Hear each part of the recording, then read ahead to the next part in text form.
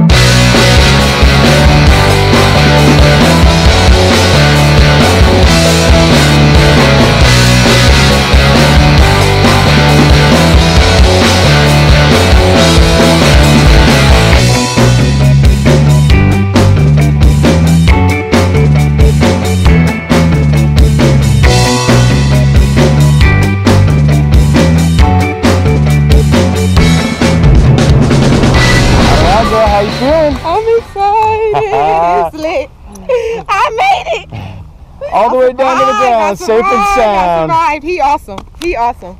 He is awesome. I see. I told you I trust you. So, big question. Would you do it again? Hell yeah. I want to do it right now That's again. what I like to hear. All right, let's watch them come on in real quick. Yeah! You really have to. Nice. All right. We'll catch you next time up in the sky. Yes. Thank you.